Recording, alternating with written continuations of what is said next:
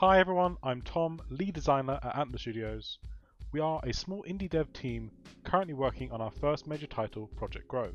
Today we're going to be talking through what we've been doing for the past few weeks, as well as a full breakdown of how we make our foliage. So diving into it, the first thing we've been doing is greyboxing. Well hey, new levels, exciting! These levels focus on the new potions, which Harry's been working on, and all this new content's been really motivating for us to see. We'll have more videos on the potions specifically in the future, so make sure you keep an eye out for that. Notably asset-wise, the new flora has been made and finished. Jinx has done some amazing work on this, and it was rigged and animated by me to give it a bit of life and flair in the level. Jinx is now moving on to the next one, the water flora. We'll hopefully be able to show you some concepts and some work of this very soon. So with that very quick update over, let's get on to the main topic for this video, foliage A quick overview of what we're going to be talking about today. We're going to start off with the texture creation process, move on to the mesh using Maya, then we're going to go on back into Unreal and we're going to see how we make a material. The material is going to be very heavily based on the one we use for Project Grove, with a few tweaks for sort of generic use. Lastly, we're talking about the foliage type, making sure you get the settings in that all correct.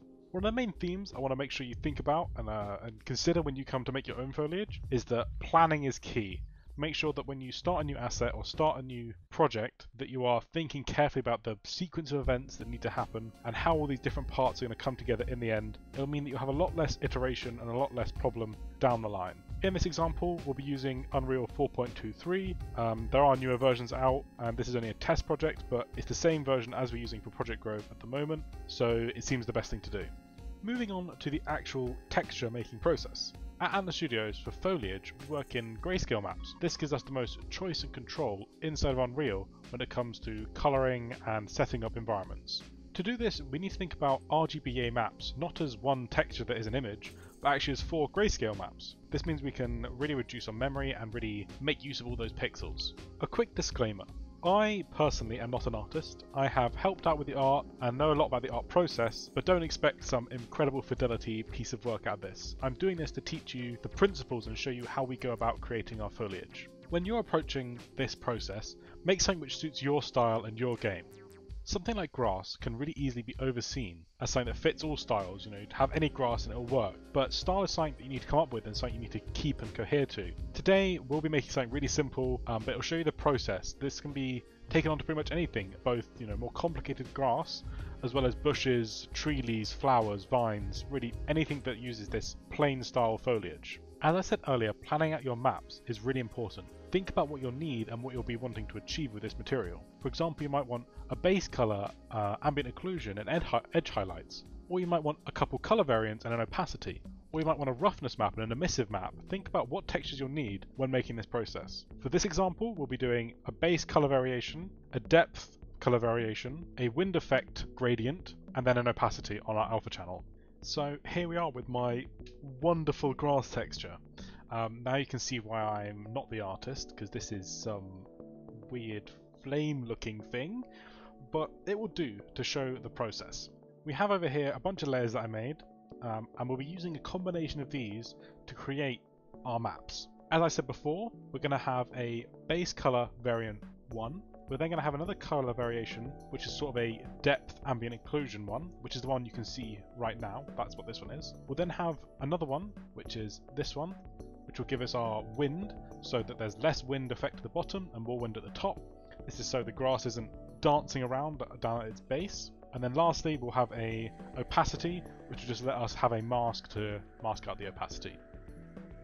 So the first thing we're going to want to do is file new. I'm doing just a 1k texture because this is a single small mesh, it doesn't need much space. Make sure you have RGB color on, this will give us the channels we can put stuff into. I've got my plan up for my R, G and B and alpha channels. So if we go over to our channels, we can see them right here. This is where we're going to be putting stuff into our R, G and B. And you can select them one by one. At the moment, it's all just white. We are going to need one extra map. So this is our alpha and it's all black. So over on our layers, we'll go to RGB, we'll just select our background and just make it black. Back over in our main one, we're going to be copying over these maps into those channels.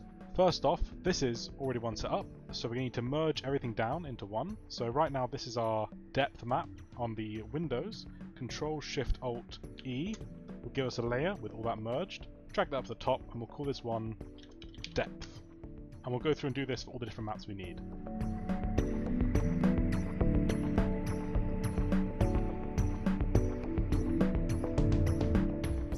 So now we have our four textures right here. For each of these, we're going to Control A to select everything in this layer, Control C to copy it, move over to this new Photoshop file we have, go to our channels, this is our wind, so this needs to go into our blue, so select the blue, and paste. Over on the RGB, you'll see that this looks blue. That is because this is only on the blue layer, so it makes sense that the a grayscale map in the blue channel makes the whole thing look blue.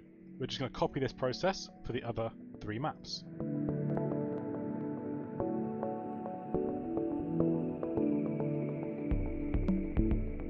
We finished that process. We've got all those maps into those channels. We can now see we have these four channels, each with their own grayscale map, ready for us to use. And together they look like this beautiful mess of colors. Wonderful. This is exactly what we want. All we need to do now is File, Save As, and save this out into a Targa file. We now have our texture inside of Unreal. Importing it, you just need to drag it into your content browser and it'll be there for you. We can see that we have all of these different channels now that give us our different maps. Now we're over in Maya, all we're going to do is make a very simple plane mesh that will show a single plane of grass, which will then duplicate a few times to make our final mesh. So first up, I'm going to make that quick plane.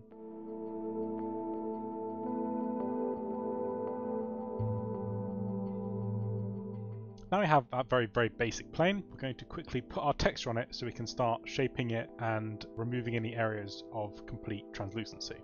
To display the texture on it, just head over to the Hypershade on your material, press this little button here and choose a file.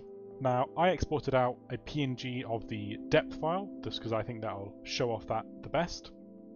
So here on depth, just press the file you want and open it up. Close out your Hypershade and make sure you press this little checkered circle here and that will display the texture. You'll see that the texture isn't being displayed correctly here. We'll need to unwrap this so it can display correctly. Go over to the UV editor and do this by just right clicking, going to UV shell, and you can now manipulate this to change what the texture sees. Firstly, I'm going to make sure it's the right way up.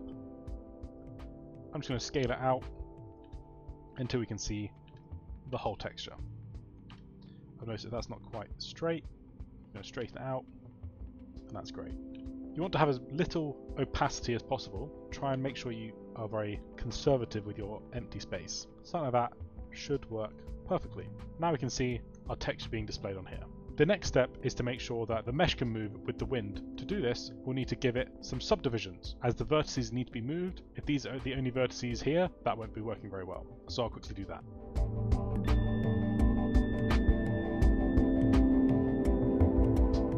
Now we've done that very quickly, we can see that there are some polygons here that are completely empty of texture information. Those two can just be deleted. The last thing we'll want to do is to further eliminate these blank spaces is move some vertices so that they're, they're close in and they cut off some of that space. I'm going to deselect soft select to do this. To fix this now, I'm going to need to go up to UV planar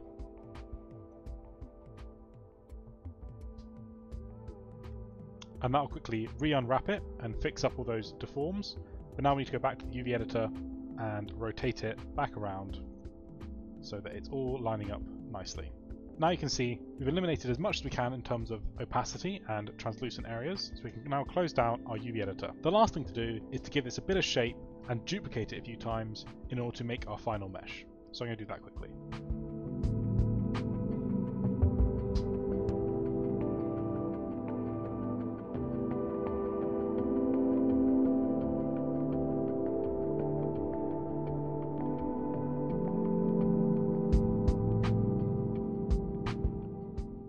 And there we have it, some very simple basic grass. Now let's just export this out into an FBX. We'll head over to Unreal and import it.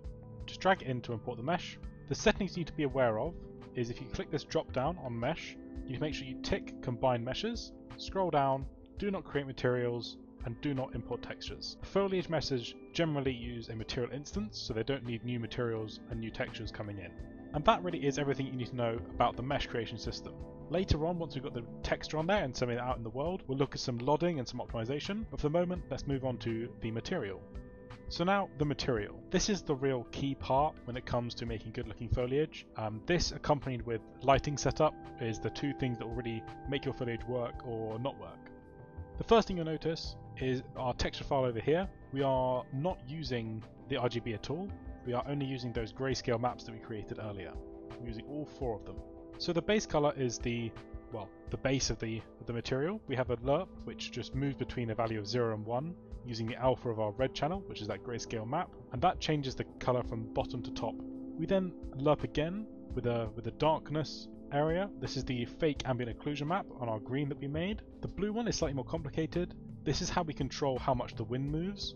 I'll go on to these wind functions in a little bit, um, but this blue map is what uses on the world position offset lerp, and that basically just changes the fact that the tips of the grass should move quite a bit, and the bottom shouldn't move at all, as it's you know attached to the ground. And lastly, that alpha that just goes into the opacity mask. In terms of material settings, the only things we need to know about over here is that we have it set to masked, two-sided foliage, and tick two-sided. If you're using two-sided foliage and two-sided, you need to make sure you have a two-sided sign and this blue setup with a multiply going into your normal. Or if you have a normal map, you can just plug that in. This will mean that you don't have weird black shadows on the back of your foliage everywhere, um, and it'll just give it that more refined look. Because we're using two-sided foliage, we also have subsurface. This just changes how it looks when there's light shining through it from behind, which is, you know, a natural state of grass. You could have a map to control that using opacity. The opacity determines how much that light passes through. Our subsurface color is generally just pretty simple and it just gives it a bit of realism in the world. The last node I want to draw your attention to is this color variation node, speed tree color variation. It's a standard Unreal node and it's really useful for giving that punch of realism to your environments, even if they're stylized. What this does is just shift the hue of your base color very slightly by variation 0.02. If you turn this up, you get a very weird looking grass, but that might be what you want. Play with that value and you'll see the effects. What this does is each instance of this mesh out in the world will be a very slightly different color, which will bring that realism out in your environment. The last key thing, material wise, is our two material functions which drive the specular and the world position offset. This is what really gives it that movement and dynamic feel, um, so let's break those down. First, our macro wind. This is that big variation where the whole leaf moves around. This is a very simple node using a lerp, a simple noise creation with some values being plugged in, and absolute world position time, it just moves around. This means that everything in the world will be unified. So this is not texture based, this is world position based, and that means that it will look like the wind flowing over the fields. We also plug it into the specular. This is so that we can get some variation and it really looks like the, the grass is pointing towards you and it looks like that highlight is bouncing off. So that's why we plug it into the specular as well as the off world position offset. The micro wind is even more simple. It's just a simple grass wind um, with some values that we can tweak. The speed value isn't variable, isn't a uh, isn't an editable variable because we want that to be consistent across everything meaning that all the grass, all the trees, each blow with the same sort of wind variable. In the future, we might want to have this as a a variable which changes, uh, sort of lerps over time, so you get some sort of gusting feeling and effect. But for the moment, it's just a static 0.5. Both of these plug in very simply, um, going through a few clamps and multipliers just to give us some variation, going into our world position and specular. And that really is the material. It might look quite complicated, but it's really not. The core part of this is making sure we have those grayscale maps on point. That's how we really create this dynamic foliage. Let's quickly apply our material instance to our mesh. Now we can see our mesh here and it's looking great. It's looking beautiful. We could probably tweak some of the values, but for the moment, let's just get into the foliage tool and set up our foliage type. So you want to go over to modes, foliage, and just drag and drop that mesh in. Let's go through some settings on this. Firstly, density. This changes how many can spawn at one time. With some things like trees, you don't really need to use this because I generally use single instance, which just puts one out at a time. But that's not what we want to do with grass. That would take forever. So let's adjust this to 200, our, uh, and let's change our density up to 500.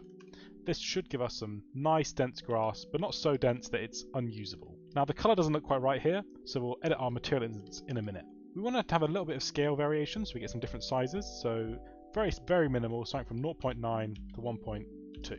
Our Z offset, minimum from minus 1 to 0. And this should give us a little bit of variation and a little bit of shape. We can even push this a little bit further, like so. Align to normal is sort of a design choice. So if there's a curved object, it'll follow that curve. For this instance, we'll leave it on because we're just doing it on a flat plane.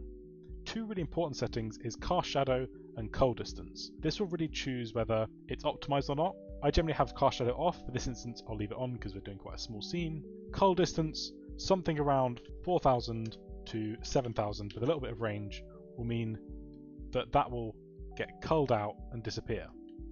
This really helps with optimization because you don't want to be drawing this grass the whole time when you're really, really far away because you won't be able to see it anyway. So we'll leave that like that. So let's just chuck a bit of this grass out. Now this is a solid basis. However, I think this can be refined slightly using our color variants.